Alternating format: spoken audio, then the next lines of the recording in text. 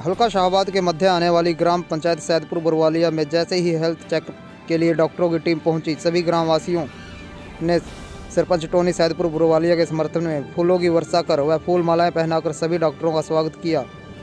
इस अवसर पर सभी डॉक्टरों ने सरपंच टोनी सैदपुर बरवालिया और समस्त ग्रामवासियों का तहे दिल से धन्यवाद किया।